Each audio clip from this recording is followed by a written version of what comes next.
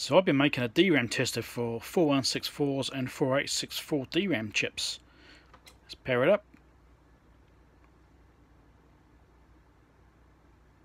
Okay, let's do a test.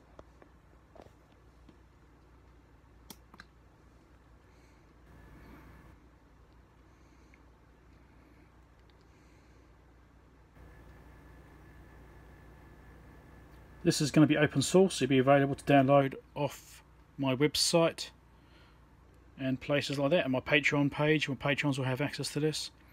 I might even design a circuit board for this instead of just having breadboarded. But all the information about the connections will be inside the file for it. It'll be a pretty good project. Pretty simple to do. There'll be no Pro Mini, few resistors, power supply, LCD display. Pretty good stuff.